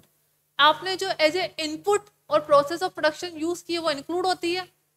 होती है उसके अंदर आपने कोई एक प्रोडक्ट बनाया सिर्फ कार मैन्युफैक्चरिंग ले लीजिए कार मैन्युफैक्चरिंग करने में बहुत टाइम लगता है लेकिन आपने अगर इंटरमीडिएट प्रोडक्ट भी बना लिया तो वहाँ पे आपके कुछ ना कुछ गुड्स तो यूज हुए तो पहली बात ये बोली गई है value of the goods and services consume as input input मतलब फैक्ट्री प्रोडक्शन का यूज किया है इंटरमीडिएट कंजम्पशन में exclude fix assess whose consumption is recorded is consumption of fix capital तो इंटरमीडिएट में हम यही तो करते हैं अगर आपकी कोई गुड्स था जैसे वैल्यूएशन मेथड पढ़ा था ना हमने सौ रुपए का गुड्स था आपने इसमें बीस रुपए का वैल्यूडेशन किया एक सौ बीस हो गए एक सौ बीस का हो गया अभी फाइनल प्रोडक्ट नहीं है चालीस का वैल्यूडेशन किया एक सौ चालीस हो गए तो आप वैल्यू अगर कौन सी लोगे एक सौ चालीस आप अगर वैल्यू ऐसे ले लो एक सौ बीस एक सौ चालीस तो कितने हो गए दो सौ साठ ये वैल्यू गलत है क्यों गलत है क्योंकि इस चालीस के अंदर ये बीस इंक्लूड है तो हमें क्या करना है एक्सक्लूड करना है तो यही बोला गया कि आपको फिक्स एसेट जो भी आपने कंजम्पशन किया उसको एक्सक्लूड करना है तो सही बात है तो इसका आंसर क्या होगा ऑप्शन बी सभी को सेकंड का आंसर समझ में आ गया सेकंड का आंसर क्या होगा ऑप्शन बी आपको इसमें सोचना पड़े सोचना पड़ेगा इन क्वेश्चंस में थर्ड है जीडीपी ऑफ एनी नेशन देखिए मेरे को तो एग्जाम देना नहीं आप लोग बताइए नेटवर्क इश्यू हो गया था देखिए बी वाला वापस देखिए intermediate consumption consist of the value of goods and services consumed as a input by a process of production बोला गया क्या इंटरमीडिएट गुड्स में आप में जो भी value of consumption goods and services थी उनकी वैल्यू कंजम्पशन की इंक्लूड होती है क्या तो होती है ना इंटरमीडिएट में हमने देखा था जब वैल्यू एडिशन मेथड देखा था तो हर वैल्यू हर लेवल पे जो भी आपका वैल्यू एडिशन वाली अमाउंट आती है उसमें जस्ट पहले वाले से वैल्यू क्या होती है इंक्लूड होती है हमने ब्रेड बनाने का एग्जाम्पल देखा था ना उसमें जैसे ये ब्रेड थी ब्रेड से हमने वीट बनाई थी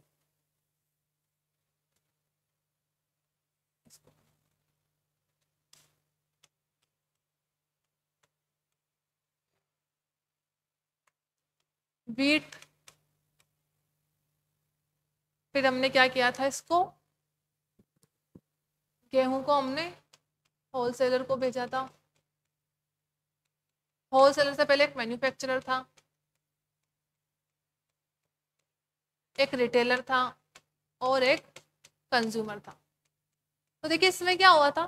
समझ लीजिए एक केजी का एग्जाम्पल लेते हैं इसने एक केजी गेहूं भेजा पचास रुपए में मैन्युफैक्चरर को फार्मर के लिए कॉस्ट थी पचास रुपये इसने अपना बीस रुपये प्रॉफिट ऐड किया मैन्युफैक्चरर को बेचा सत्तर रुपये में मैन्युफैक्चरर ने भी अपना बीस रुपये प्रॉफिट ऐड किया होलसेलर को बेचा नब्बे रुपये में नब्बे रुपये और इस होलसेलर ने भी अपना बीस रुपये प्रॉफिट ऐड किया और रिटेलर को बेचा एक सौ दस रुपए में और रिटेलर ने भी अपने बीस रुपये प्रॉफिट ऐड किया और इसको बेचा कंज्यूमर को एक सौ तीस रुपए में तो इसके पास पहुंचे एक सौ तीस रुपये अब यहाँ तक जो भी गुड्स था ब्रेड बनने से पहले ब्रेड तो यहाँ बनी एक सौ तीस रुपए में इससे पहले जो भी लेवल था वो एक प्रोसेस थी और प्रोसेस में जब तक प्रोडक्ट रहता है उसको हम फाइनल गुड्स बोलते ही नहीं है फाइनल गुड्स तो यहाँ पे बनी है ये सब क्या थे इंटरमीडिएट गुड्स थे तो बोला गया है क्या इंटरमीडिएट गुड्स में जो कंजम्पशन की वैल्यू होती है वो इंक्लूड होती है हाँ तो होती है जैसे यहाँ पे जो एक सौ दस रुपये आए वो कैसे आए पचास प्लस बीस प्लस बीस प्लस बीस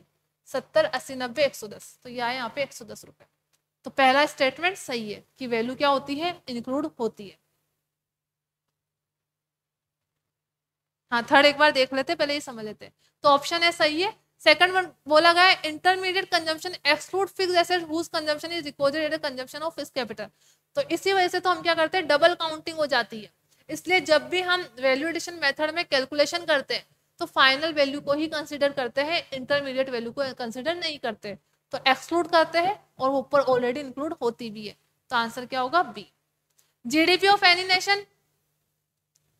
exclude capital consumption and intermediate consumption inclusive of capital consumption और depreciation is inclusive of indirect tax but exclude subsidies none of the above देखिए पहला बोला गया exclude capital consumption and intermediate consumption तो GDP तो include करती है intermediate भले ही हटा दो लेकिन कैपिटल कंजम्पशन को तो इंक्लूड करती है तो पहला हो गया गलत inclusive of capital consumption capital consumption को लेते हैं और डेप्रिशिएशन भी होता है क्यों होता है क्योंकि ये वर्ड कौन सा है ग्रोस है नेट होता तो डेप्रिशन एक्सक्लूड होता लेकिन ग्रोस है तो डेप्रिशन इंक्लूड होगा तो पहला तो इसलिए गलत हो गया कि इसने बोला क्या क्या बोला है कि कैपिटल कंजम्पशन को भी एक्सक्लूड करते हैं इंटरमीडिएट कंजम्पशन को भी एक्सक्लूड करते हैं लेकिन इंटरमीडिएट कंजम्पशन को तो हम एक्सक्लूड कर देते हैं लेकिन कैपिटल कंजम्पशन उसके अंदर इंक्लूड होता है inclusive of indirect tax but exclusive of exclude subsidies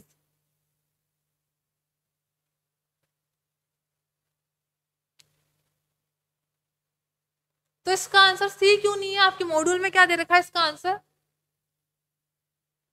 सी भी तो हो सकता है ना इसका answer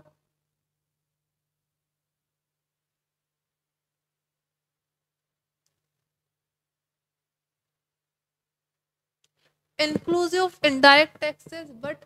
but subsidy book में इसमें क्या दे रखा है थर्ड का आंसर इसमें देख लेते हैं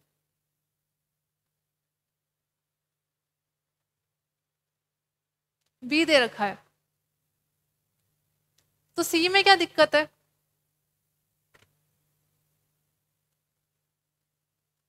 जीडीपी अगर एमपी होगा तो उसमें इंडायरेक्ट टैक्स इंक्लूड होगा और सब्सिडी एक्सक्लूड होगा ठीक है इसको एक बार थोड़ा मार्क कर लीजिए मैं कल चेक करके आऊंगी और बाकी के क्वेश्चन भी अब हम कल ही करेंगे ठीक है आज टाइम हो चुका है क्वेश्चन फोर का बी क्वेश्चन फोर देख लो चलो आपने कर ही लिया तो read the following statement value added refer to the difference between value of output and purchase of intermediate goods value added represent the contribution of labour and capital to the production process तो पहला तो सही है कि value added क्या बताता है difference बताता है किसके बीच में आउटपुट और इंटरमीडिएट गुड्स के बीच में तो पहला करेक्ट है value added represent the contribution of labour and capital to the production process बिल्कुल सही बात है अगर आप वैल्यू एडिशन करोगे तो आपने कुछ ना कुछ प्रोसेस किया होगा प्रोसेस करने के लिए दो फैक्टर जरूरी है तो लेबर इंगेज करी होगी या कैपिटल इंगेज करी होगी तो ऑप्शन फोर का आंसर क्या होगा बी ठीक है तो बाकी का हम कल करेंगे ठीक है